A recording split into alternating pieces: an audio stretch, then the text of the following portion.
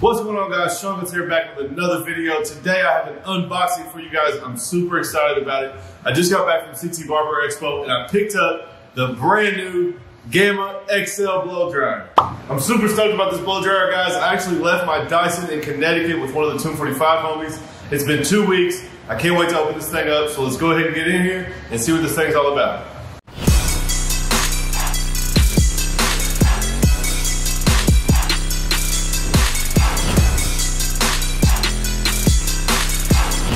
All right guys, so like I said, this is the Gamma XL or Excel. I'm not sure how you're really supposed to say it. This is their brand new blow dryer. Guys, this is top of the line. It retails for 300 bucks. Like I said, once I grabbed this, I actually let one of my Tomb45 homies get my Dyson. I'm so excited about this thing. There's one feature in particular you guys have to stick around to see, and I'll show you guys once we get it hooked up and start using it. We got one of these Apple type boxes. You guys know I like that, the suction boxes.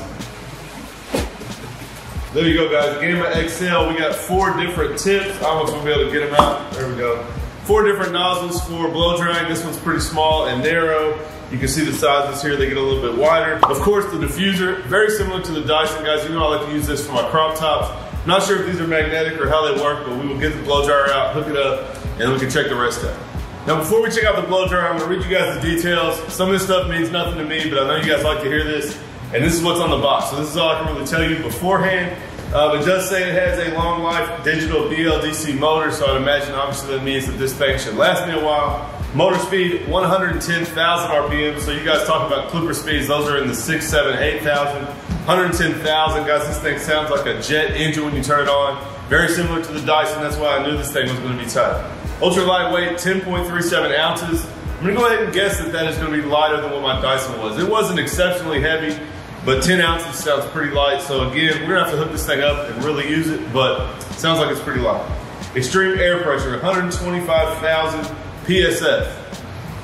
Pressure per square foot, I don't know what that means. But anyway, guys, this thing is super dope. Like I said, it, it, sounds very high power. It does come with all the attachments. And there's one feature once we hook it up, I'm gonna show you that's gonna blow your mind. And this is why I had to have it. Go ahead and unwrap all this. I know they say not to take this off, but guys, I'm not leaving it on there.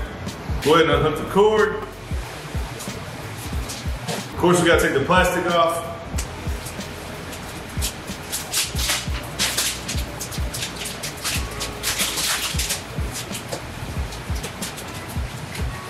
All right guys, so I went ahead and hooked it up on my station where my normal blow dryer would go. You guys can see I have enough cord. My chair is right in front of me.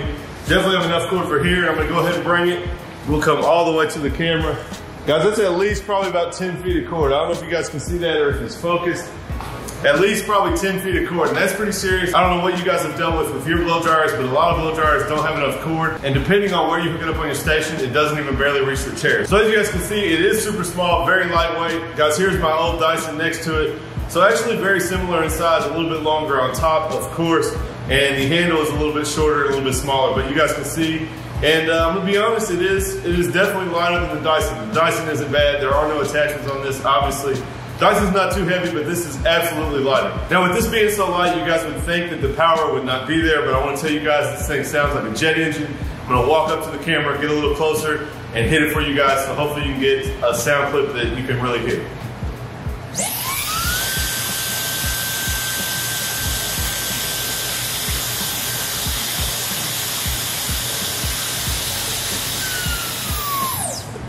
Okay guys, so I just learned if you took the switch all the way up to the lock button, you're not able to adjust the speed or the heat settings.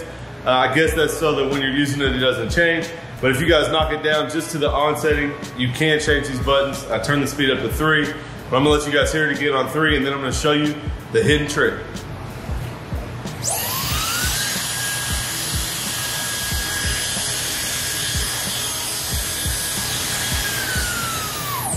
All right guys, so the super cool feature on here is the filter is on the back and it does not come off. So there is a way to clean it and this is what I thought was so cool. You guys, you wanna let it run for 60 seconds like we just did. Now hold the cold shot for five seconds.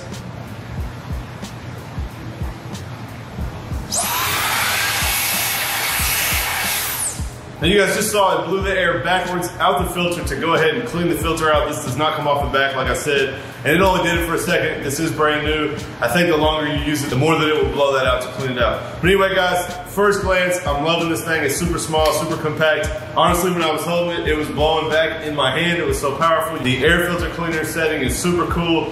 It comes with all the attachments. So the only thing we have left to do, guys, is actually use this on a couple heads. So I'm gonna set my camera up, a couple heads today. We're gonna try to style with the XL blow dryer. We'll get together in the end and talk about how good it is.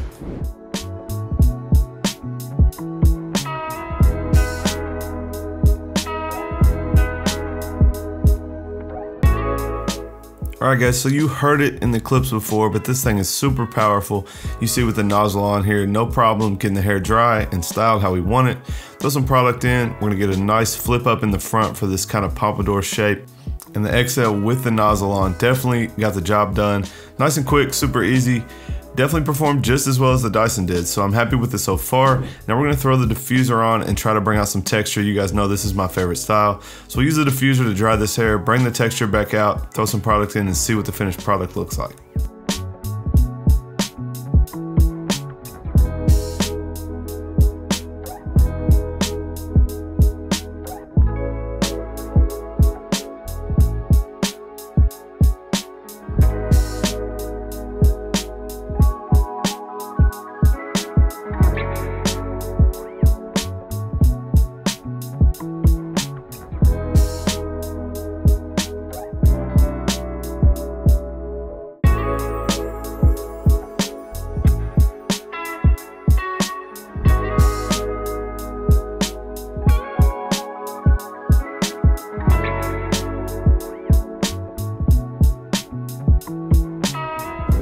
So overall guys, I'm definitely pleased with the Gamma XL blow dryer. Works just as good as the Dyson for sure. It is $100 less, so I'm pleased with it. I'm glad I got it. Um, not really much of a difference from how it performs. They both perform very well. I did like my Dyson the whole time I had it, but I'm definitely pleased with this. If you guys want to check it out, Gamma sells it on their website. You can also get it from my homies at Fort Worth Barber Supply.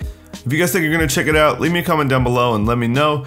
Smash that thumbs up if you guys enjoyed this video and make sure you guys subscribe. My man in the video right here, his tutorial will be dropping on Wednesday, so make sure you guys stay tuned for that. Haircut turned out super dope. Nice texture on top. You guys see he has a natural curl, but super happy with the cut. This is my newest barber, Hunter. So you guys make sure you check out that video on Wednesday when it drops. I appreciate you guys checking out my review on the Gamma XL, and I'll catch you guys next time.